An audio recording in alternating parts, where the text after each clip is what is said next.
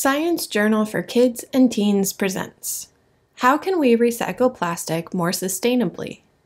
Adapted from the original peer reviewed paper in the journal Chem Sus Chem, published on May 6, 2022. Research conducted by Christian Sonnendecker, Juliane Oeser, Thorsten Oeser, and others from the Institute of Analytical Chemistry and the Department of Microbiology and Bioprocess Technology Institute of Biochemistry, both at Leipzig University in Germany. See the full list of authors and their affiliations in the accompanying PDF. Read by Miranda Wilson. Abstract Plastic is all around us, in our toothbrushes, pens, cars, and even clothing. It is very useful, but plastic trash ends up in the environment and is bad for animals and humans. It can take hundreds of years to break down. Recycling this plastic can take a lot of energy and often still leaves waste. We wanted to find a better way to break plastic down and reuse it to make new plastic. We discovered an enzyme that, quote, digests plastic in the same way that humans can digest food. Using this enzyme to break down used plastic means we will need much less energy to recycle plastic. Plus, we can even use the products of the process to make plastics that are just as good as new ones. Introduction Plastic is very important. We use it for food containers, clothing, bags, and much more. Can you count the number of plastic things you use every day? Unfortunately, most plastic waste ends up in landfills. We only recycle a small amount of plastic because it's hard to do. Plastics are separated, melted down, and then reshaped into new plastics.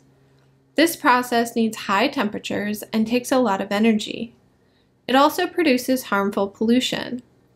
Plus, recycling decreases the quality of the plastic. This means we can only recycle plastic a few times before throwing it away. A closed loop system would be much better for the environment.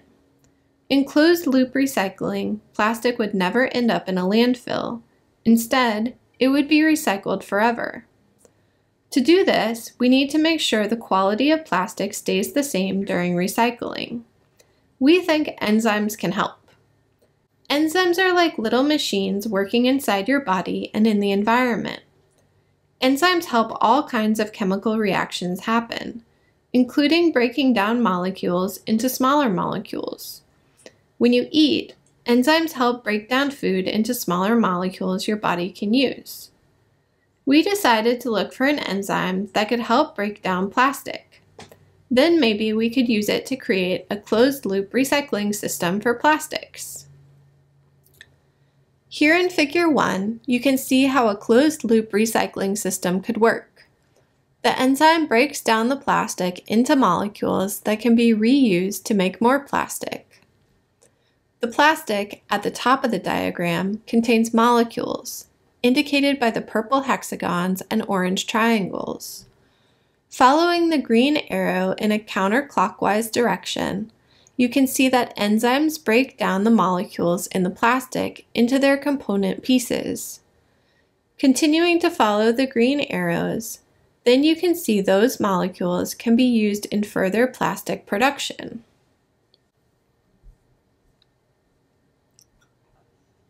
Methods Plants contain molecules that are similar to the plastic molecules we wanted to break down. In compost piles, microscopic organisms produce enzymes that can break down these plant molecules.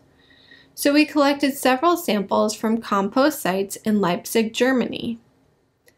We looked at the DNA in our samples to find enzymes that might help us break down plastic. We found seven different enzymes. So we did some experiments to see how well they worked. First, we placed each enzyme in a container with plastic. We let the enzymes break down the plastic molecules for 24 hours. We did this at different temperatures too. Then, we measured how much plastic got broken down. We also compared our enzymes to another enzyme that we already know breaks down plastic. We did more tests using the best enzyme. We tested to see how fast it worked. We looked at its shape and figured out how stable it was as well. Once we knew enough about the best enzyme, we did one final experiment. We used it to break down a plastic takeout container. Then we used the broken down molecules to make new recycled plastic. Results. Our experiment led to the following key results. 1. The best enzyme was the one we named plastic hydrolase Leipzig 7 but we'll call it enzyme number 7 here. After 24 hours, enzyme number 7 had digested almost 100% of the plastic. 2. Enzyme number 7 works best at 70 degrees Celsius, or 158 degrees Fahrenheit. 3. Enzyme number 7 can work really fast, it worked the most quickly between 4 and 8 hours after it started breaking down the plastic. And 4. Enzyme number 7 can break down plastic into very pure molecules. We were then able to create new high quality plastic from those molecules. This is an example of closed loop recycling. In figure 2, you can see the percentage of plastic digested in 24 hours at 70 degrees Celsius by enzyme number 7, another enzyme from the landfill in Leipzig, and an enzyme previously known to digest plastic. These three enzymes can be found on the x-axis of the graph. On the y-axis, you can see the amount of digested plastic as a percentage of the original sample. Looking at the graph, how many times more effective was enzyme number 7 than the second most effective enzyme? Discussion. Enzyme number 7 is a great enzyme to try using for plastic recycling. Enzyme number 7 broke down a lot of plastic compared with the other enzymes. It is also thermostable, meaning that it can work at a variety of temperatures. It worked even at 70 degrees Celsius, about the same temperature as the air inside a hot clothes dryer. This is a lower temperature than we usually use to recycle plastic. Recycling at a lower temperature can save a lot of energy. Enzyme number 7 also breaks down plastics quickly. That means it could also help recycling processes go faster.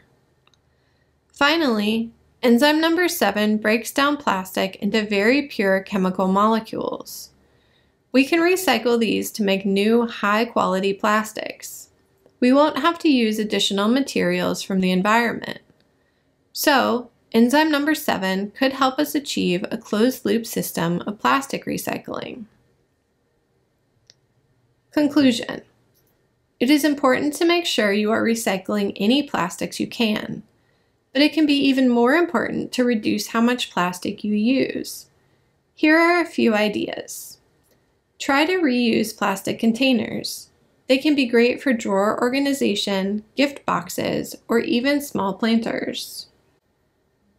Bring your own reusable shopping bags to the grocery store. Choose to buy items that have no or reduced amounts of plastic packaging. And consider joining an environmental group or start one at your school. You can help raise awareness about actions that we can take to reduce the use of plastics. Thank you for listening to this recording. Visit our website, sciencejournalforkids.org, for more free science teaching resources.